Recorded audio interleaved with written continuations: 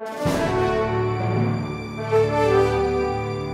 right, aloha. Uh, my name is Nicole Lowen. I am a state representative for um, House District 6 and also appointed to the Hawaii Invasive Species Council.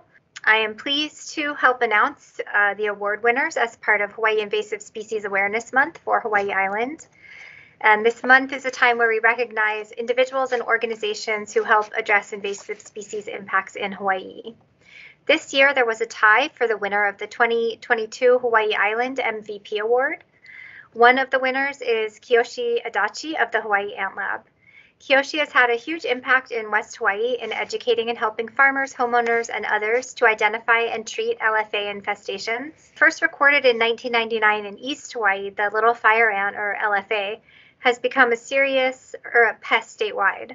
By June 2019, in response to increasing demand by residents and agriculture for assistance, the Hawaii Ant Lab appointed Kiyoshi Adachi as an LFA ex extension agent, using funds appropriated by the state for this purpose. He was the first employee at the West Hawaii office of, Hawaii, of the Hawaii Ant Lab, so he helped to open the office.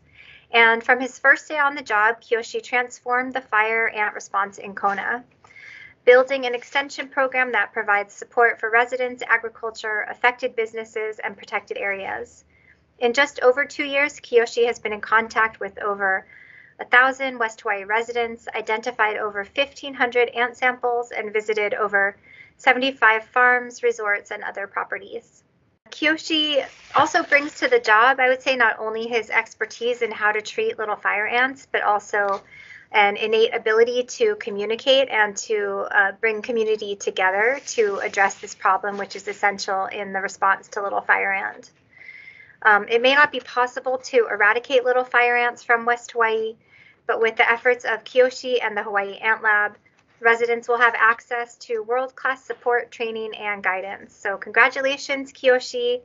Uh, huge mahalo for all your work in West Hawaii and happy Hawaii Invasive Species Awareness Month.